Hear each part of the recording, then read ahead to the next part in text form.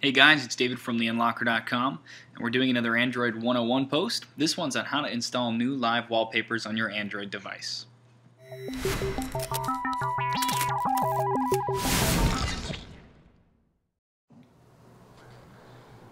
Okay, so live wallpapers are a little bit different than your regular wallpapers.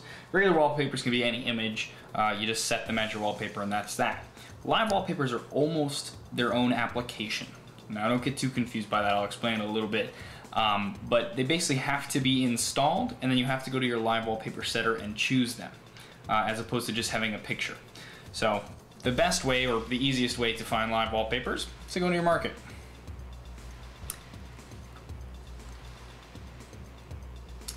Now, before you used to have to search and just type in live wallpaper, but now you can actually go to apps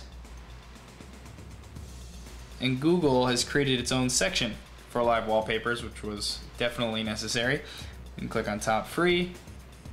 Now we can look in here and just see whichever ones we might want. So let's just do this top one here. Why not? The Thunderstorm live wallpaper. So you select the wallpaper that you want. Just like with any other app, you hit free or whatever it may say. You might, you might have to pay for it if you want to. Okay. And you're gonna wait for that to download. Okay, after it's installed, it's gonna look just like that, just like a normal app. But that's where the similarities end. Uh, if you click on this now, like you would normally a normal app, uh, it won't open like a normal app will. And I'll show you. It's just gonna say, this is a wallpaper. What are you doing? So that's that. Okay, so you're not gonna open it. Instead, you're gonna do this. You're gonna hit the menu button. Oops.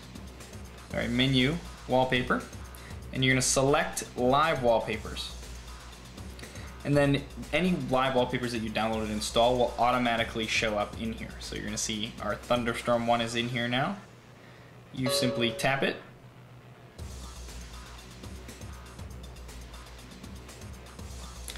You can change its settings if there are any. This one doesn't have any. And tap set wallpaper to actually set it.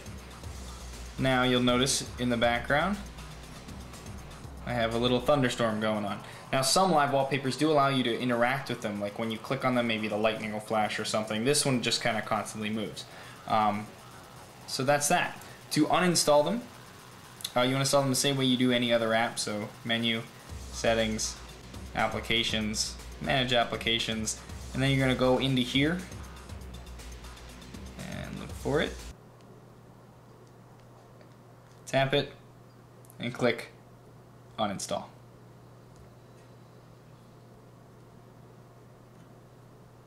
And now it's going to put us back to our default live wallpaper, which is the one that comes with this device. And that's it.